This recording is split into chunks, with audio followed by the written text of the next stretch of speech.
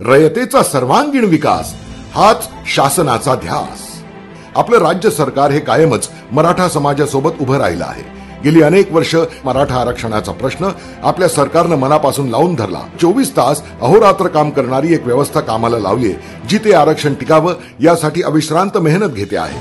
मराठा समाजाच्या पंचाहत्तर विद्यार्थ्यांना परदेशी शिष्यवृत्तीचा लाभ व एकवीस कोटी रुपयांची तरतूद. डॉक्टर पंजाबराव देशमुख वसतिगृह योजनेअंतर्गत तीन लाख एकोणऐंशी हजार तीनशे त्र्याहत्तर विद्यार्थ्यांना एक हजार दोनशे त्र्याण्णव कोटी रुपये निर्वाह भत्ता वितरित.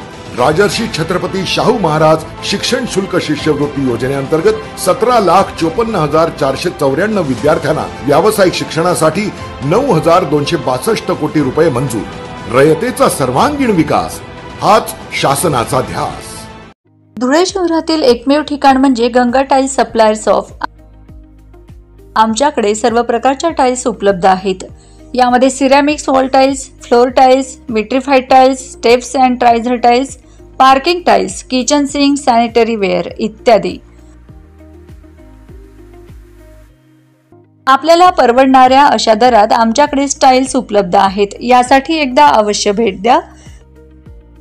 पत्ता गंगा टाईल्स सप्लायर्स ऑफ चारशे पाच micro tower Wadjai road Dhule. Mobile number सत्तर सत्तावन्न अठ्ठेचाळीस अडतीस एकोणपन्नास.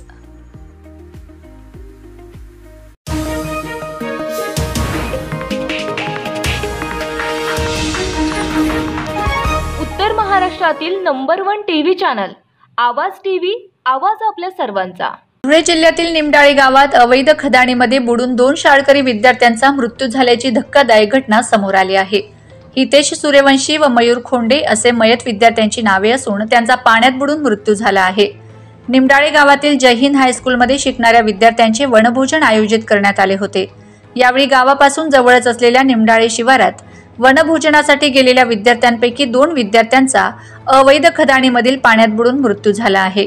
या घटनेनंतर प्रचंड खळबळ उडाली असून अवैध खदाणींनी दोन विद्यार्थ्यांचा बळी घेतल्याने संताप व्यक्त केला जात आहे.